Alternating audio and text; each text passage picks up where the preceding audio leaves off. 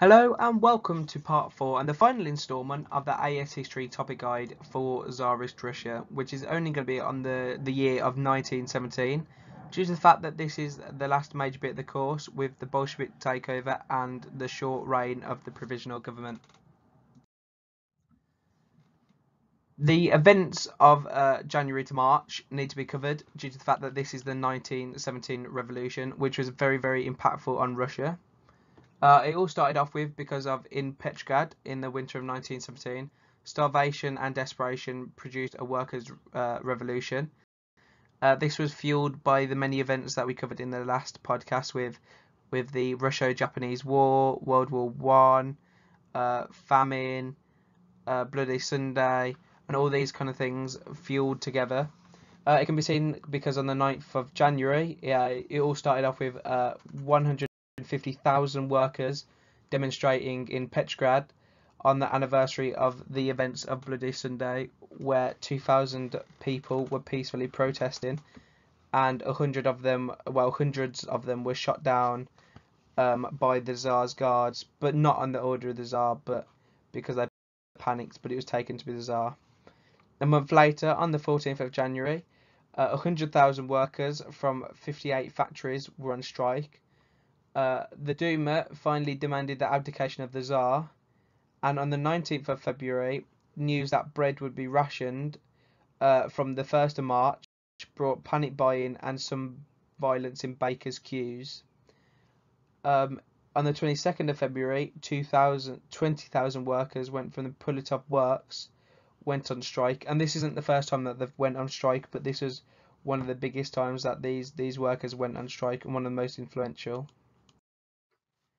A day later, on the 23rd of February, a march of women on International Women's Day was swelled by striking workers and militant students, amounting to over 200,000 demonstrators calling for bread and reforms.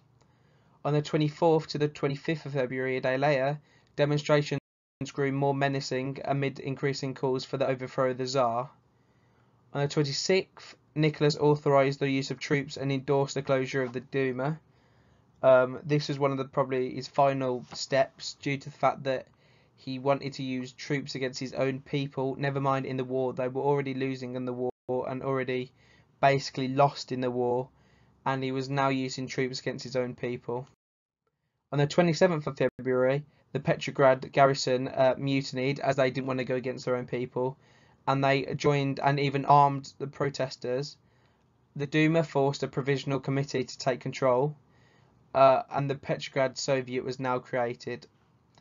On the 28th of February, a day later, Nicholas II left his military headquarters to return to Petrograd, but his train was diverted. His ministers were arrested uh, on the authority of the Provisional Committee the the uh, this provisional committee um, was the Petrograd Soviet, and they issued Order Number One. This proclaimed Soviet authority over the army and encouraged the formation of soldier Soviets. Uh, sailors mutinied in Kronstadt in regards to this. On the 1st of March, the Duma and Soviet agreed to support the creation of a provisional government. Um, this this was encouraged by his ministers and generals, and um, this also led to a day later the Tsar abdicating, and um, he abdicated in the belief that um, his brother Grand Duke Mikhail would uh, take the throne. Um, however, a day later, Mikhail refused the throne, leaving the provisional government and the Petrograd Soviet in charge. The Tsar, his family, and most of his ministers were placed under house arrest, um, and the Tsar and his family were murdered a year later by the Bolsheviks in July in 1918, due to the fact that he could still be a, a symbol of uprising against the Bolsheviks. After the Tsar's abdication, Russia was left with two ruling authorities, the Provisional Government and the Petrograd Soviet. Um, the Soviet agreed to accept the Provisional Government's authority until a constituent assembly could be elected to draw up a new constitution. Uh, this arrangement between them was known as the dual authority uh, or dual power of Russia. Uh, dual power was the, that the Prince Lvov became prime minister with a government uh, compromising mainly liberal Octoberists and cadets. Kerensky, who sat on the executive committee of the Petrograd Soviet, was the only socialist in the new government, and the Petrograd Soviet mainly comprised of radicals, especially the SRs and the Mensheviks, uh, acted as the guardian of the right of the workers and soldiers. The provisional government managed to pass a, uh, a few reforms before uh, they were taken over. Uh, these were that the provisional government promised uh, and the Soviet accepted uh, that the people had civil liberties, um, that there was an amnesty for political prisoners, so that they'd be kind of released and all these people that kind of fought against the Tsar would now be let back in. Um, there was also an abolition of capital punishment and also exile and there was now the appointment of independent judges due to the fact that these judges were now uh, independent from the state and uh, were more likely to be unbiased. However, there was a declining support for the provisional government due to the fact that the Soviet and the provisional government disagreed on many issues. Um, for example, the conduct of war and the peasants' rights uh, to take land um, the provisional government continued to fight the war, uh, which led to mass public demonstrations uh, and resignations of government ministers, and their replacement by five socialists in May. Meanwhile, the countryside peasants took the law into their own hands and seized land. In cities, food supplies were chaotic, uh, real wages fell, and prices rose. By the summer of 1917, there was little support left for the provisional government in the end. Uh, Lenin uh, returned, who was the leader of the Bolsheviks, um, returned from exile in Switzerland in April 1917, and he gave a, a rousing speech as soon as he arrived, uh, later published as the April Theses. He demanded all power be given to the Soviets, uh, and he promised an end to the war and land for uh, land for the peasants. And he na later named this uh, bread, land, and peace. And this was kind of the thing that, in effect, uh, he wanted. He was accepting the peasant takeover, and he wanted to tell the, Russians what they wanted to hear. This helped unite Bolsheviks under his leadership uh, over the next few weeks, as he managed to win over most of the Central Committee of the Bolshevik Party to his belief, uh, and uh, to his belief in non-cooperation with the provisional government, and wanted to go it alone with the Bolsheviks. Uh, the July days, as they're known, as in July, Lenin was joined by Trotsky, who had returned from exile in May. However, um, an armed uh, protest attracted by uh, uprising soldiers and uh, sailors um, and factory workers in Petrograd on the 3rd to the 4th of July. Um, although it attracted some Bolshevik followers, it threatened to undermine Lenin's efforts due to the fact that the provisional government used troops to break up the protest. Several predominant Bolsheviks were arrested, uh, Trotsky being one of them, um, but Lenin managed to escape to Finland just before he was captured. The Kornilov affair was a massive thing for the, the provisional government due to the fact that in July Kerensky became prime minister and General Kornilov became commander in chief uh, during wartime. Kornilov believed he could restore strong government and he prepared to bring some loyal troops to Petrograd. Um, Kerensky, however, saw this as a threat as he opposed Kornilov's coup uh, of the 25th to the 30th of August and asked the Petrograd Soviet to help defend the city. However, this was a massive, massive error for the provisional government due to the fact that he uh, they gave the, the Bolsheviks weapons and allowed them to challenge the approaching army. Railway workers halted trains carrying the troops to the capital and persuaded for them to desert while Kerensky had Kornilov uh, arrested. The Kornilov affair increased support um, for the Bolsheviks and weakened Kerensky's position, as Kerensky basically ordered uh, the Bolsheviks to kill their own men and uh, the army members um, for their own sake. The Bolsheviks, who had uh, refused any compromise with the increasingly unpopular provisional government, managed to grow at the expense of the Mensheviks and the SRs, who urged national unity and the Bolsheviks therefore continued to work with the provisional government as they were gaining majorities. In September, the Bolsheviks gained a majority on both the Moscow and Petrograd Soviets, with Trotsky becoming chairman of the Petrograd Soviet. By October, the Bolshevik Party had a membership of 200,000 and a force of 10,000 Red Guards. The revolution finally came in the October of 1917, um, as from Finland, Lenin urged the seizure of power. Um, however, the Bolshevik Central Committee was reluctant to lead an uprising against the provisional government without a mandate from an elected constitutional assembly. Um, therefore, uh, on the 7th of October, Lenin returned secretly to Petrograd.